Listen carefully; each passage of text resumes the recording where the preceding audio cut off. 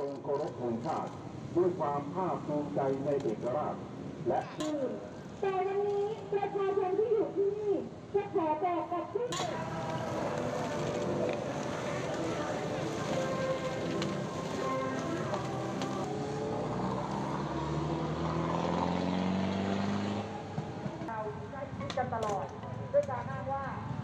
สนามฟุตบอลเนี่ยมีเกิดเลย แต่ในประเทศไทยเนี่ย เอ้า